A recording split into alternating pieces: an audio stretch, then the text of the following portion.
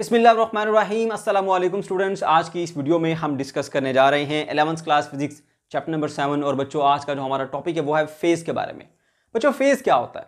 Phase constant क्या होता है? फ़ेज़ डिफरेंस क्या होता है? ये तीन मेन पॉइंट्स हैं जो कि आपको बहुत अच्छे तरीके से समझ रहे हैं। ये बेसिक कंसेप्ट में आते हैं और इसी की बेस के ऊपर आप आने वाले बहुत सारे कॉन्सेप्ट को सीखेंगे।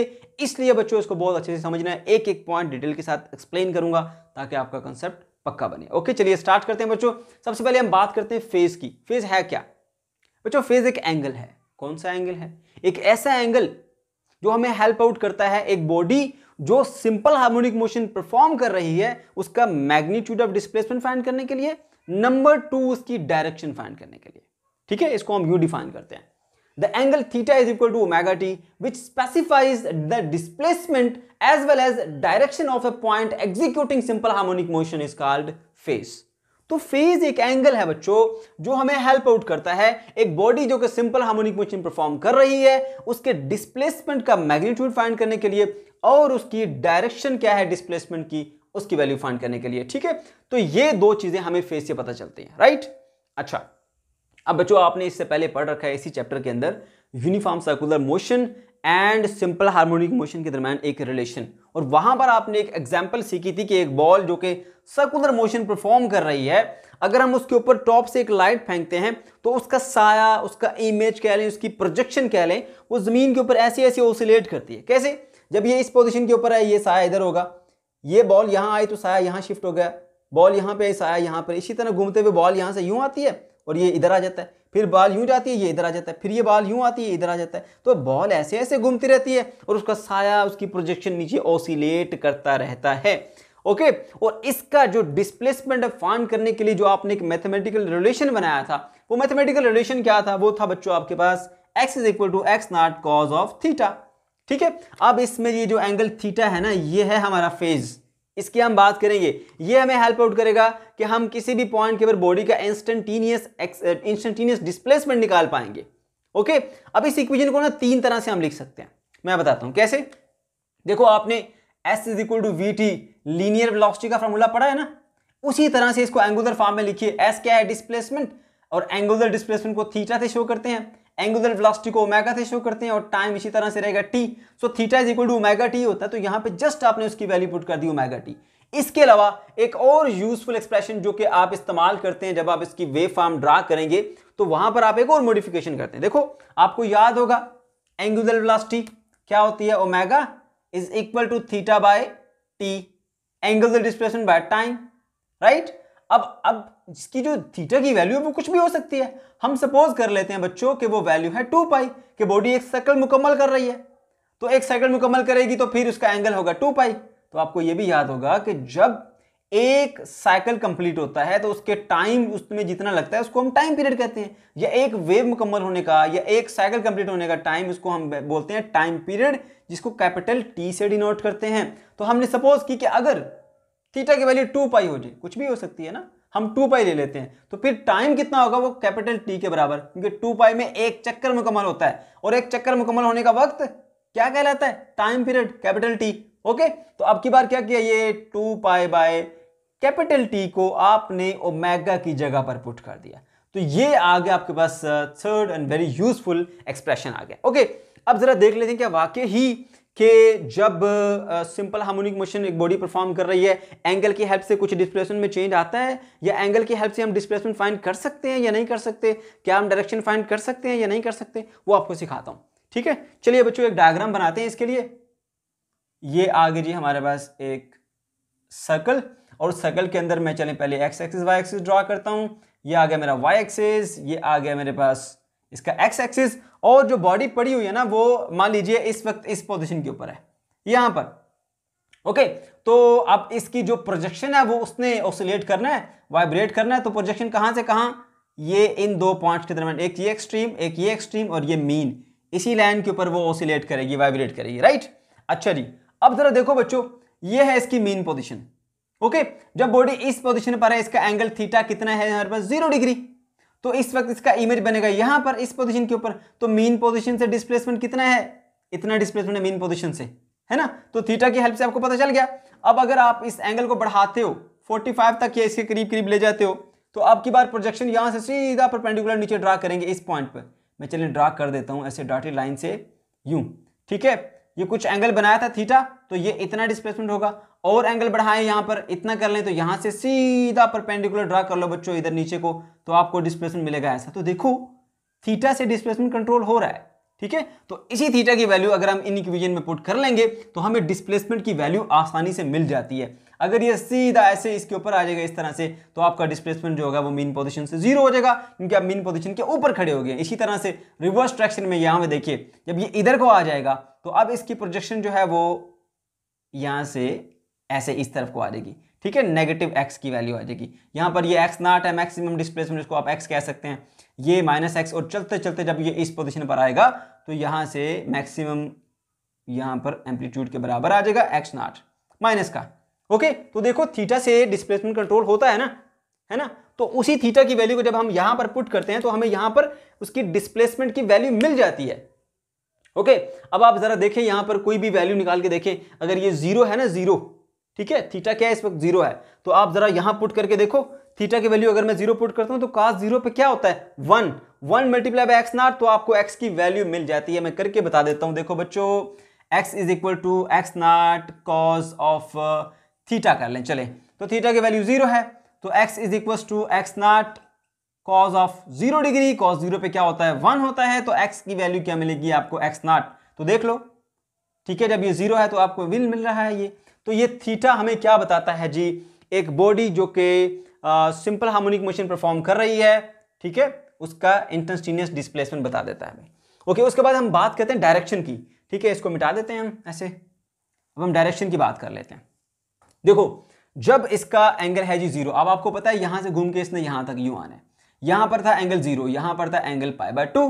तो ज़ीरो से जब ये पाई बाय टू के ऊपर आएगा ऐसे तो क्या होगा? इसकी प्रोजेक्शन यहाँ से मूव करके इधर को आएगी ना? तो ज़ीरो डिग्री से पाई बाय टू तक इसकी डायरेक्शन होगी towards the mean position. Direction पता चल गई हमें। फिर यहाँ से घूमता हुआ जब ये इस पोजिशन के ऊपर आएगा ऐसे तो अब क्या होगा? अब ये यहाँ से इधर आया तो इसकी प्रोजेक्शन जो इसका साया नीचे बन रहा था वो भी आगे को शिफ्ट हो जाएगा और यहाँ से इधर आएगा नई पोजीशन के ऊपर। एंगल कितना बन गया आप? 180, जिसको हम पाई बोलते हैं। तो आपको पता चल गया कि पाई बाय टू से लेकर पाई तक ये बॉडी मूव करेगी away from the mean position और एक्सट्रीम पोजीशन की तरफ़ जाएगी at the negative x axis okay फिर इसी तरह से जब घूम के ये यहाँ से इधर आएगी ऐसे तो अब इसकी प्रोजेक्शन फिर नीचे आएगी तो फिर मैं यहाँ के बजाय थोड़ा नीचे बना रहा हूँ ताकि आपको नज़र आए वो चीज़, ठीक है? तो यहाँ से बॉडी मूव करती हुई फिर इधर को जाएगी तो आप इसकी डायरेक्शन आसानी से फाइंड कर लेंगे, ठीक है? तो यहाँ से लेकर यहाँ तक पाई से लेकर 270 या 3 पाई बाय टू जब एंगल होता है तो ये रिवर्स मूव करती है toward the mean position okay?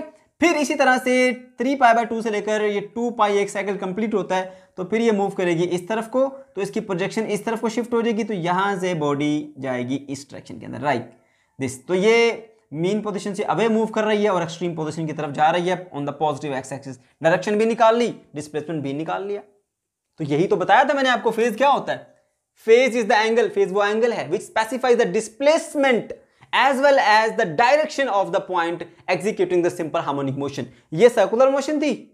उसकी projection simple harmonic motion execute करती है। उसकी हेल्प से हमने क्या किया? एंगल की वैल्यू बता दें। अगर मैं बोलता हूँ कि इसकी वैल्यू जो है वो लेट सपोज़ 30 डिग्री है। अब 30 कहाँ से आता है? ज़ीरो से लेकर पाई बाय टू के दरमियान। यहीं पे आता है ना? तो ज़ीरो से लेकर पाई बाय टू के दरमियान ये बॉडी इधर से इधर को शिफ्ट हो रही है ऐसे। डायरेक्शन ऑफ़ मोशन इधर को, है ना? बॉडी कह लें, चले प्रोजेक्शन कह लें आपकी मर्ज़ी। ओके बच्चों तो ये चीज़ हमने सीख ली। अच्छा अब उसके बाद हमने क्या बात करनी है जी? फेस कॉन्स्टेंट की। फेस कॉन्स्टेंट क्या होता है? बच्चों, हमेशा हमें ऐसा नहीं मिलेगा केस कि ये बॉडी जिस तरह यहाँ पर था ज़ीरो से मूव करना स्टार्ट हुई। कभी कभी ऐसा भी होगा कि बॉडी ज़ीरो से मूव नहीं करेगी, बल्कि पहले से उसने कुछ एंगल स्वीप किया हुआ होगा। ये वो सर्कुलर पाथ आ जाता है, ऐसे। ये आ गया जी एक्स एक्सिस ये आ गया वाई एक्सिस अब की बार जो बॉडी है जब हमने उसको ऑब्ज़र्व करना स्टार्ट किया, वो पहले से कुछ ना कुछ एंगल स्वीप किए थी विद द एक्स एक्सिस यहाँ पर। ठीक है? उस एंगल को बोल देता हूँ मैं फाई ये होता है हमारा कांस्टेंट फ़ेज़ ठीक है? ये एक कांस्टेंट फ़ेज़ कहलाता है हमारे पास। कांस्टेंट फ़ेज़ क्या होता है? Constant phase tells us how displaced a wave is from a equilibrium or mean position ये मान लीजिए जी हमारे पास क्या है जी? इसकी मीन पोजीशन ठीक है? तो इस वक्त जो है वो बॉडी जो है वो मीन पोजीशन से कितना डिस्प्लेस्ड है। ठीक है? तो ये बता देता है जी हमें फ़ेज़ ठीक हो गया? अच्छा अगर हम एंगल वाइज देखें तो ये इसकी इसकी ओरिजिनल पोजीशन ये पॉजिटिव एक्स एक्सिस है। यहाँ से ये कितना डिस्प्लेस हुआ हुआ कितना एंगल स्वीप कर रहा है। अब याद रखें, जब अभी टाइम स्टार्ट नहीं हुआ T is equal to zero है, अगर बॉडी ने पहले से कुछ एंगल स्वीप करके रखा हुआ, जैसे इसने यहाँ पर ये एंगल पहले से स्वीप किया हुआ है बॉडी ज़ीरो से स्टार्ट नहीं कर रही इस सर्कुलर पाथ के ऊपर मूव करना, है ना? इस ज़ीरो डिग्री से, ठीक है? पहले से कुछ एंगल थीटा फाइव बना के रखा हुआ है। ये कह रहा था जी हमारे पास क्या, इसको हम बोलते हैं कॉन्स्टेंट फ़ेज़ या फ़ेज़ कॉन्स्टेंट बोलते हैं। ओके तो अब की बार अगर ऐसा सिचुएशन होगी तो फिर आपने छोटी सी मॉडिफिकेशन करनी है। इन्हीं फार्मूलों के अंदर ये जो आपने तीनों फार्मूले बनाए थे, जो यहाँ पर थीटा लिखते थे थीटे के साथ, ये जो हमारे पास कांस्टेंट फ़ेज़ है, वो आप ऐड कर देंगे। थीटा प्लस फाइव कर देंगे। अगर ओमेगा टी है तो ओमेगा टी के साथ प्लस फाइव कर देंगे। और अगर ये two pi by T multiply by small T है तो उसके साथ भी आपने फिर ये फाइव को ऐड कर देना है। और ये काफ़ी इंपॉर्टेंट है बच्चों। ये वाला जो हमारे पास रिलेशन है, ये बहुत ज़्यादा इंपॉर्टेंट है। इसी की हेल्प से हम जो है वो सारे का सारा जो इसकी जो वे फॉर्म ड्रा करते हैं, वो आसानी से ड्रा करते हैं। चलिए जी स्टार्ट करते हैं। अब हम, अब इसके अंदर ना हमने यहाँ पर दो, तीन केसेस देखने हैं। एक बार पहली बार मरतबा हमने ज़ीरो से स्टार्ट करना है, ठीक है? अगली मरतबा हमने 90 से स्टार्ट करना है, उससे नेक्स्ट टाइम हमने फिर 180 से स्टार्ट करना है, ठीक है? ये तीन हमारे पास फेस कांस्टेंट है zero degree 90 degree 180 degree one by one discuss करेंगे और इनकी वेव फॉर्म किस तरह से बनी वो आपको सिखाएँगे ओके चलिए डिस्कस करते हैं। अब बच्चों, यहाँ पर अगर हम देखा जाए तो एक पहले से मैंने ये बना के रखी हुई है डायग्राम्स ये हमारे पास पहले डायग्राम है, ठीक है? यहाँ पर ये, आप देख सकते हैं, ठीक है? इस वक्त जो है वो body zero degree angle sweep कर रही है जब अभी टाइम स्टार्ट नहीं हुआ, ठीक है? ज़ीरो डिग्री का एंगल है। Phi is equal to zero degree. अब इसका जो है वो हमने यहाँ पे ग्राफ ड्रा करना है, किस तरह से हम ग्राफ ड्रा करेंगे, इसका जरा देखिएगा। इनिशियली जब टाइम है जी आपके पास ज़ीरो टी क्या है, ज़ीरो राइट तो इसका डिस्प्लेसमेंट कितना होगा? डिस्प्लेसमेंट की इक्वेशन हम ये वाली इस्तेमाल करेंगे, ये वाली। डिस्प्लेसमेंट की इक्वेशन है जी हमारे पास x is equal to x naught cos two pi by capital T multiply by small T plus phi ठीक है? ये वाली इक्वेशन आप इस्तेमाल करेंगे। ठीक है? जब टी होगा हमारे पास ज़ीरो तो उस रिस्पेक्ट से फिर x इज़ इक्वल टू ये x नाट रहेगा और cos of two T by T multiply by T की जगह क्या पुट करोगे आप? ज़ीरो पुट करोगे। प्लस फ़ेज़ कितना? ये भी ज़ीरो है। तो आपको क्या वैल्यू मिलेगी? जरा गौर से सुनना आप। ज़ीरो किसी से मल्टीप्लाई करो, पूरा ज़ीरो ज़ीरो प्लस ज़ीरो पूरे का पूरा ज़ीरो तो ये बन जाएगा cos of zero degree cos zero पे होता है वन तो आपको यहाँ पर वैल्यू मिलेगी एक्स नाट इंटू वन जो कि बराबर होता है एक्स नाट के। तो पता चला कि जब टाइम अभी स्टार्ट नहीं हुआ ज़ीरो है, ठीक है? अगर फ़ेज़ डिफरेंस ज़ीरो है तो इस केस के अंदर आपको मैक्सिमम एम्पलीट्यूड मिलेगा एक्स नाट के बराबर, ठीक है? तो ये हमने ग्राफ बनाया हुआ है, ठीक है? ये हमारे पास मैक्सिमम एम्पलीट्यूड है एक्स नाट के बराबर। इसके ऊपर हम एक ऐसे पॉइंट ड्रा कर लेंगे, इधर पॉइंट बना दिया हमने एक। अच्छा जी, उसके बाद फिर हम सेकेंड टाइम जो है वो क्या करते हैं जी, हम ये कर लेते हैं कि अब हमारे पास जो टाइम पीरियड है, इसके टाइम पीरियड का वन फोर्थ है। टाइम कितना है? टाइम पीरियड का वन बाय फोर पार्ट ठीक?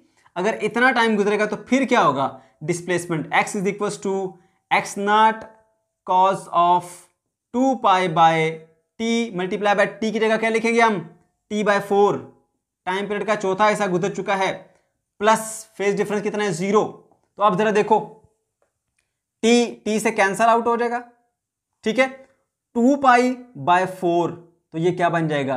पाई बाय टू ठीक है? क्योंकि टू वन द टू और टू टू द फोर होता है। पाई बाय टू ठीक है? Pi by two plus zero कितना होता है? पाई बाय टू तो कॉज पाई बाय टू यानी नाइनटी के ऊपर क्या होता है? ज़ीरो तो आपको वैल्यू मिलेगी X naught into zero is equal to zero ठीक है? तो जब टी बाय फोर टाइम गुजर चुका है, यानी टाइम पीरियड का चौथा ऐसा गुजर चुका है तो उस सूरत में डिस्प्लेसमेंट कितना होगा इसमें ज़ीरो तो ये जी टाइम पीरियड का चौथा ऐसा गुजर गया। अभी डिस्प्लेसमेंट कितना होगा इस पॉइंट के ऊपर? जी ज़ीरो डिस्प्लेसमेंट होगा। ओके इसी तरह से नेक्स्ट जो है वो हम देखेंगे। जब हमारे पास टी यानी टाइम पीरियड का आधा गुजर चुका है, यानी ये बॉडी यहाँ से यहाँ तक आई तो टाइम पीरियड का वन फोर्थ पार्ट गुजर गया। यहाँ तक आई तो हमारे पास अब टाइम हाफ़ हो गया। ठीक है? जितना इसका टाइम पीरियड था, उसका हाफ़ पास हो चुका है। T by two. अब क्या होगा? X is equal to X naught cos two pi by capital T multiply by यहाँ टाइम की जगह पर क्या लिखेंगे आप? T by two plus phase कितना है? फ़ेज़ एंगल या कांस्टेंट फ़ेज़ कितना है? ज़ीरो अब देखो टू टू से कट गया। टी टी से कट गया। क्या बचा हमारे पास? पाई पाई प्लस ज़ीरो कितना होता है? पाई होता है। तो कॉस पाई पे कितना होगा? कॉस पाई पे होगा? माइनस वन कैलकुलेटर से आप चेक कर सकते हैं। तो ये मिलेगा आपको X naught into minus one which is equal to minus X naught ठीक है? तो अब देखो, जब हमारे पास ये टी बाय टू टाइम गुजर चुका है तो अब आपको क्या मिलेगी वैल्यू माइनस एक्स नाट मिलेगी। Okay T by two time के ऊपर। उसके बाद चलते चलते जब आप चलेंगे जी next T is equal to three T by four three T by four तो फिर क्या होगा? X is equal to X naught मिलेगा। और यहाँ पर आएगा कॉस ये आ गया जी two pi by capital T. यहाँ जो स्मॉल टी था उसकी जगह पे क्या पुट करेंगे? Three T by four. Three T by four. और प्लस फ़ेज़ कितना है जी? आप फ़ेज़ कांस्टेंट कितना? ज़ीरो। तो अब देखो जरा बच्चों, ये टी तो इस टी से कट गया। टू वन द टू और ये टू टू द फोर। अब क्या हो गया हमारे पास? ये थ्री बचा। Three pi by two. ठीक है? थ्री पाई बाय टू पे अगर आप टू सेवेंटी पे कॉस को चेक करेंगे तो कॉस आपको फिर भी ज़ीरो मिलेगा। कैलकुलेटर से चेक करें, थ्री पाई बाय टू के ऊपर कॉस क्या होता है? ये टू सेवेंटी डिग्री का एंगल बनता है। ज़ीरो होता है कॉस इसके ऊपर। So X naught into zero is equal to आपको वैल्यू मिलेगी अगेन ज़ीरो ठीक है? तो यहाँ पर जब आपका time three T by four यानी टाइम पीरियड का थ्री बाय फोर्थ पार्ट गुजर चुका है तो आपको वैल्यू कितनी मिलेगी इस पॉइंट के ऊपर? ज़ीरो यहाँ पर एक पॉइंट लगा लें। उसके बाद फिर लास्ट में आप complete time period T is equal to capital T यानी पूरा टाइम पीरियड के बराबर टाइम गुजर चुका है इसको। अब डिस्प्लेसमेंट कितना होगा? X is equal to X naught cos of two pi by capital T multiply by यहाँ टी की जगह पे आप कंप्लीट टी लिखिए प्लस फाइव जो हमारे पास कांस्टेंट फ़ेज़ है, वो ज़ीरो है इस केस के अंदर, पहले केस के अंदर।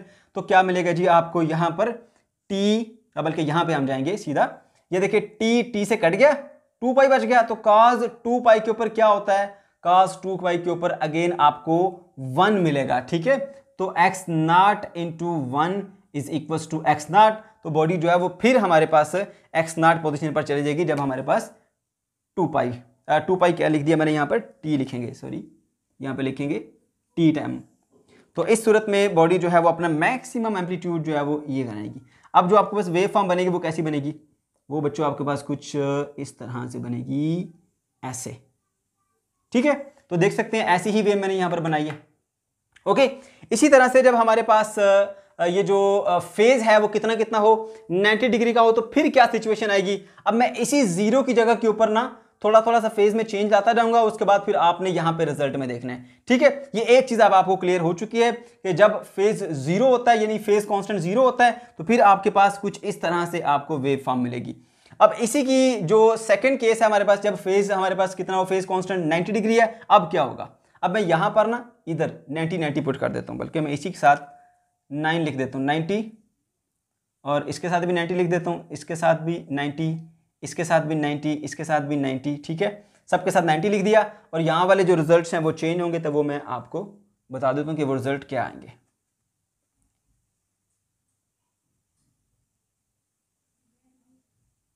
ओके तो बच्चों देखो, अब टाइम सेव करने के लिए मैंने फेस को पहले जहाँ ज़ीरो ज़ीरो लिखा था, वहाँ पर अब मैंने नाइनटी नाइनटी पुट कर दिया क्योंकि हमारा सेकंड केस जो है वो नाइनटी वाला है। ठीक है? दोबारा से आपने जज करना है इसको। अभी टाइम स्टार्ट नहीं हुआ, ठीक है? ऑलरेडी इसने कुछ एंगल स्वीप किया हुआ है। अब ये वाला केस है, ये देखें, ये अब स्टार्ट इस पोजिशन से होगा। ठीक है? अभी T is equal to zero है। ये ज़ीरो पे नहीं है, ये ऑलरेडी इसने कुछ एंगल स्वीप किया हुआ 90 डिग्री ये हमारा फेस कॉन्स्टेंट है। ठीक है?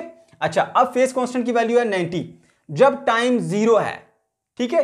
तो इस टी की जगह पे आपने ज़ीरो पुट किया फ़ेज़ कांस्टेंट uh, कितना है? 90 तो इसको मल्टीप्लाई किया ये बन गया ज़ीरो ठीक है? अब ज़ीरो प्लस नाइनटी कितना होता है? 90 ठीक है? ये देखो ज़ीरो को इससे मल्टीप्लाई किया पूरा ज़ीरो पूरा ज़ीरो हो गया पीछे क्या बचा? 90 कॉस 90 पे क्या होता है? ज़ीरो तो ये आपको मिलेगी value X naught into zero ये एक्स नाट इस पूरे की जगह ज़ीरो आया तो आपको वैल्यू मिलेगी जी ज़ीरो इसी तरह से यहाँ पर देखिए ये जिस तरह हमने कटिंग की थी टी टी से कट गया था, ठीक है, यहाँ पर बचा था हमारे पास pi by two pi by two pi by two का मतलब कितना होता है? Ninety degree ninety plus ninety one eighty तो कॉस वन एट्टी पे कितना होता है? Minus one X naught is equal to minus one is equal to minus X naught इसी तरह से बच्चों, अगर यहाँ पे अगर हम देखें तो ये टू टू से कट गया था टी टी से कटा, क्या बचा था? पाई पाई होता है वन एटी के बराबर, है ना? तो पाई प्लस नाइनटी ठीक है, ये बन जाता है two hundred and seventy cos two seventy पे कितना होता है? कॉस टू सेवेंटी पे ज़ीरो होता है. So X naught into zero is equal to क्या हो जाएगा आपके पास? ज़ीरो हो जाएगा. ठीक है? इसी तरह से फिर देखिए three T by four time के बाद गुजरने के बाद क्या होगा? ये देखिए, उसी तरह से टी की जगह पे थ्री टी बाय फोर आपने पुट किया. कटिंग शटिंग की पीछे क्या बचा था हमारे पास? Three pi by two three pi by two हमारे पास बनता है two hundred and seventy degree है ना? और उसके साथ 90 ऐड करोगे तो 360 पूरा हो जाएगा। तो 360 पे फिर आपको क्या मिलेगी? वैल्यू मिलती है आपको वन तो ये मिल जाएगा एक्स नॉट पॉजिटिव ठीक है? उसके बाद फिर देखो लास्ट में जब हमारे पास टी बराबर है टाइम बराबर है कैपिटल टी टाइम पीरियड के बराबर है, यहाँ पर टी की जगह पे हमने टी पुट किया। टी टी से कट गया। टू पाई आया। टू पाई कितना होता है? थ्री सिक्सटी ठीक है? एक साइकिल कंप्लीट हो गया। उसके बाद नाइनटी उसमें ऐड करें। दोबारा ये सिचुएशन में आ गया। ठीक है? तो इसको भी 360 प्लस 90 करके आप कैलकुलेटर के अंदर अगर आप चेक करेंगे इसको कॉस को तो ये वैल्यू आपको देगा ज़ीरो डिग्री तो यहाँ पर फिर आपको वैल्यू मिलेगी zero is equal to zero तो ये फॉर्म मिली। अब इसको जब हमने बनाना है, ठीक है तो मैं इसको एक और कलर से ड्रा करता हूँ ताकि आपको समझ में आए। देखिए जी, जो सेकंड वाली हमारे पास वेव फॉर्म है, जब हमारे पास टाइम टी ज़ीरो था, इसका क्या मिला हमें जी वैल्यू एक्स नाट की? एक्स की वैल्यू क्या मिली? ज़ीरो ठीक है? जब ये ज़ीरो है तो एक्स नाट की वैल्यू ज़ीरो मिली यहाँ पर पॉइंट बनेगा। अच्छा फिर टी बाय फोर यानी टाइम पीरियड का चौथा हिस्सा गुजरा तो एक्स की वैल्यू कितनी मिली? माइनस एक्स नाट तो माइनस एक्स नाट कहाँ पर है? इसके बिल्कुल ये यहाँ पर नीचे, यहाँ पर होगी ऐसे। ठीक है? अच्छा उसके बाद फिर देखिए, जब हमारे पास टाइम टी बाय टू के बराबर आ गया, अब क्या है जी हमारे पास एक्स डिस्प्लेसमेंट की वैल्यू ज़ीरो तो यहाँ पर ये टी बाय टू तो डिस्प्लेसमेंट की वैल्यू क्या मिल गई? हमें बच्चों ज़ीरो मिल गई। इसी तरह से फिर T is equal to three pi by three T by four जब हुआ तो तब इसकी क्या वैल्यू मिली हमें? एक्स नाट यानी मैक्सिमम एम्पलीट्यूड तो मैक्सिमम एम्पलीट्यूड ये आया किस सिचुएशन के अंदर? जब T by four time period है। तो तकरीबन कुछ यहाँ पर पॉइंट मिलेगा आपको। ठीक है? ऊपर बन गया ये थोड़ा सा नीचे चले, मैं थोड़ा थोड़ा सा नीचे बना देता हूँ आपको। चले, यहाँ पे अंदाजे से बना दिया मैंने। ओके जी। उसके बाद फिर जब हमारे पास T is equal to capital T यानी टाइम पीरियड के बराबर टाइम गुजर चुका है तो अगेन क्या मिलेगा आपको? रिज़ल्ट ज़ीरो तो टी के ऊपर रिज़ल्ट मिला आपको ये ज़ीरो तो अब जरा देखिए इसकी वे फार्म कैसी बनेगी जी आपके पास। वे फार्म कुछ इस तरह से बनेगी ये ऐसे, और यहाँ से होती हुई ये वे फार्म आपको मिली इस तरह से। तो देखो, वैसी की वैसी वे फार्म मैंने यहाँ पर बनाई हुई है, ठीक है? ये देख सकते हैं आप, यहाँ से, इस तरह से। अब लास्ट केस है जी हमारे पास। उसमें फेस कितना है हमारे पास? 180 डिग्री।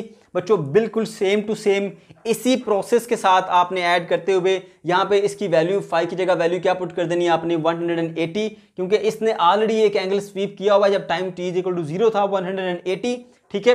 तो वो वैल्यू आपने यहाँ पे फाइव की पुट करनी है, आपको इसी तरह की वे फॉर्म बनेगी मैं आप इसको ड्रा नहीं कर रहा, मैंने यहाँ पे ड्रा किया हुआ है। इसी तरह से आप इसके ऊपर ड्रा कर सकते हैं। ओके सेम टू सेम यही प्रोसीजर होगा। वीडियो लंबी हो जाएगी, इसलिए मैंने जल्दी जल्दी से इसको एक्सप्लेन कर दिया आपको। अच्छा बच्चों उसके बाद हम बात करते हैं जी फेस डिफरेंस की। अब मान लीजिए जैसे ये दो है ना बॉडी एक बॉडी यहाँ से स्टार्ट कर रही है दूसरी बॉडी यहाँ से स्टार्ट कर रही है। ये दोनों इकट्ठे आपने ए, एक ही साइकिल के अंदर मूव करा रहे हैं। एक यहाँ से स्टार्ट कर ले एक यहाँ से स्टार्ट कर ले। दोनों की इस तरह की हमारे पास वेव फॉर्म बनेगी। दोनों को कलेक्टिवली आपने इस तरह से शो कर दिया। इनके दरमियान एंगल का कितना डिफरेंस है? एक ज़ीरो से स्टार्ट कर रही है। ठीक है? इसका जो हमारे पास कॉन्स्टेंट फ़ेज़ कितना है? ज़ीरो डिग्री इसका कॉन्स्टेंट फ़ेज़ कितना है? नाइन्टी डिग्री तो इन दोनों का जो फ़र्क है ना ज़ीरो और नाइन्टी के दरमियान कितना डिफरेंस है? नाइन्टी का। तो ये जो दो वेव फॉर्म हमारे पास आएँगे, इनके दरमियान में भी जो फ़ेज़ डिफरेंस होता है, उसको बोलते हैं, ये 90 डिग्री आउट ऑफ़ फ़ेज़ है। ठीक है? इनमें फ़ेज़ डिफरेंस कितना है? 90 डिग्री का फ़ेज़ डिफरेंस है। सही है? और इसी तरह से अगर मैं ये वाली वेव भी इसके ऊपर डायरेक्टली ड्रा करता हूँ, चले एक मैं और कलर का इस्तेमाल कर लेता हूँ यहाँ पर। ये वेव जो है, वो आपको कुछ इस तरह से मिलेगी, ये ऐसे। ठीक है? और यहाँ से ये ऐसे। ठीक? अब ये वाली जो वेव है, ये ब्लू वाली और जो ब्लैक वाली, ये कहलाती हैं 180 आउट ऑफ़ फ़ेज़ पता है क्यों 180 आउट ऑफ़ फ़ेज़ कहलाती हैं? क्योंकि इसका इनिशियल फ़ेज़ जो था, वो कितना था? ज़ीरो डिग्री इसका इनिशियल फ़ेज़ कितना था? 180 डिग्री है ना? तो इन दोनों के डिफरेंस कितना है एंगल का? 180 डिग्री का।